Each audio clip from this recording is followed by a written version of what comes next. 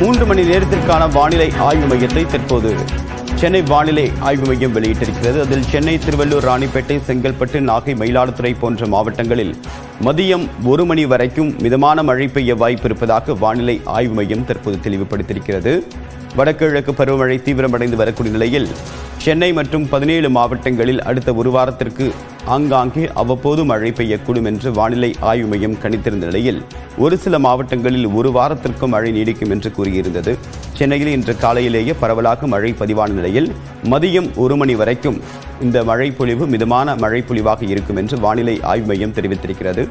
பள்ளி வேலை நாள் என்பதன் காரணமாக இந்த முன்னறிவிப்பு என்பது பெற்றோர்களுக்கு உதவிகரமாக இருக்கும் அதே நேரத்தில் எந்தெந்த மாவட்டங்களில் மழை பெய்யும் என்றால் சென்னை திருவள்ளூர் ராணிப்பேட்டை செங்கல்பட்டு நாகை மயிலாடுதுறை போன்ற மாவட்டங்களில் மதியம் ஒரு மணி வரைக்கும் மிதமான மழை பெய்ய வாய்ப்பு இருப்பதாக வானிலை ஆய்வு மையம் தெளிவுபடுத்தியிருக்கிறது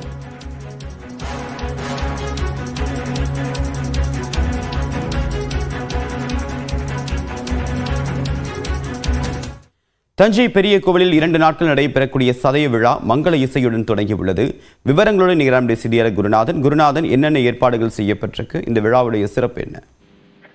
தேவபிரியன் உலக புகழ்பெற்ற தஞ்சை பெரிய கோவிலை கட்டிய மாமன்னன் ராஜராஜ சோழனின் அரியணை ஏறிய ஐப்பசி நட்சத்திரம் ஆண்டுதோறும் சதய விழாவாக கொண்டாடப்படும் போல் இந்த ஆண்டு ஆயிரத்தி முப்பத்தி ஒன்பதாவது சதய விழா இன்று காலை மங்கள இசையுடன் தொடங்கியது அரசு விழாவாக இரண்டு நாட்கள் நடைபெறும் இந்த விழாவில் பெரிய கோவில் வளாகத்தில் அமைக்கப்பட்டுள்ள மிகப்பெரிய அரங்கத்தில் பட்டிமன்றம் கவியரங்கம் கலை நிகழ்ச்சிகள்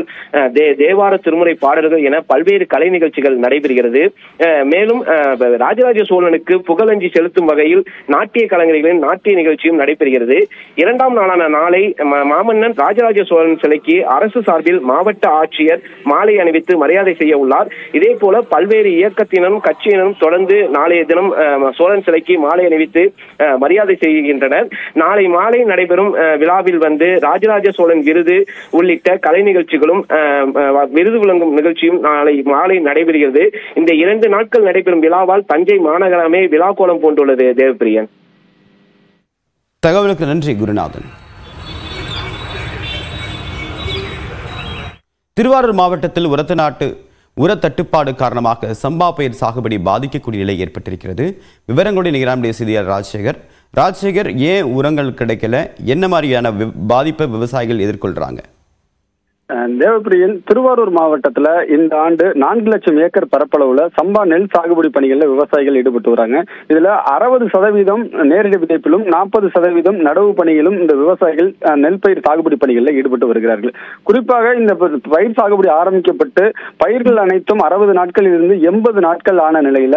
மேட்டூர் அணையிலிருந்து திறந்து விடப்பட்ட தண்ணீர் திருவாரூர் நாகை உள்ளிட்ட கடைமடை மாவட்டங்களுக்கு குறைந்த அளவு வந்ததன் காரணத்தினால நெல் பயிர்களுக்கு தண்ணீர் வைக்க முடியாத ஒரு சூழல் நிலவி நிலவியது கடந்த ஒரு வார காலமாக மேமலை என்பது திருவாரூர் மாவட்டத்தில் பெய்து வந்ததன் காரணமாக பயிர்களுக்கு இந்த மழை என்பது மிக ஏதுவாக இருந்தது இந்த நேரத்தில் அடி உரம் அடிக்க வேண்டிய நிலையில் தொடக்க வேளாண்மை கூட்டுறவு வங்கிகள் திருவாரூர் மாவட்டத்தில் நூத்தி முப்பத்தி ஏழு தொடக்க வேளாண்மை கூட்டுறவு வங்கிகள் உள்ளது இந்த வங்கிகள் மூலமாக மானிய விலையில் விவசாயிகளுக்கு உரம் உரம் யூரியா டிஏபி உள்ளிட்ட பொருட்கள் அந்த வகைகள் வந்து வழங்கப்பட்டு வரும் ஆனால் கடந்த பத்து நாட்களாக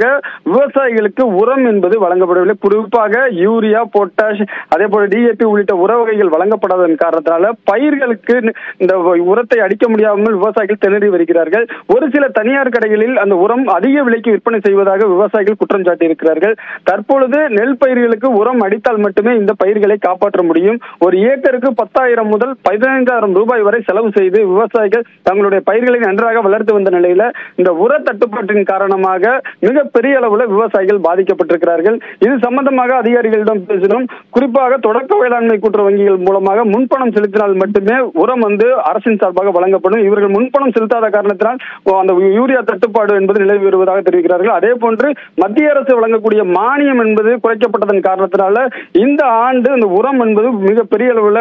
அந்த உற்பத்தி குறைந்திருப்பதாக தெரிவிச்சிருக்காங்க இதன் காரணமாக விவசாயிகள் மிகப்பெரிய அளவில் பாதிப்படைஞ்சிருக்காங்க உடனடியாக தமிழக அரசும் வேளாண் துறையும் விவசாயிகளின் நலனை கருத்தில் கொண்டு உர தட்டுப்பாட்டை போக்குவதற்கான நடவடிக்கை மேற்கொள்ள கொள்ள வேண்டும் அப்படி செய்தால் மட்டுமே இந்த நெல் பயிர்களை காப்பாற்ற முடியும் என விவசாயிகள் தெரிவித்திருக்கிறார்கள் தேவப்பிரியா